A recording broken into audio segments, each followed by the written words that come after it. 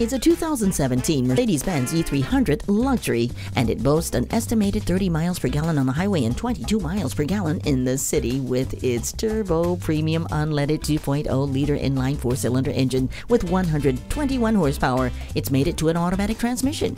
It also has the 18-inch twin five-spoke alloy wheels, selective damping system, and premium one package. You'll enjoy the keyless Go Comfort package, blind spot assist, heated front seats, navigation with a rear view camera and parking pilot, and even an electric trunk closer.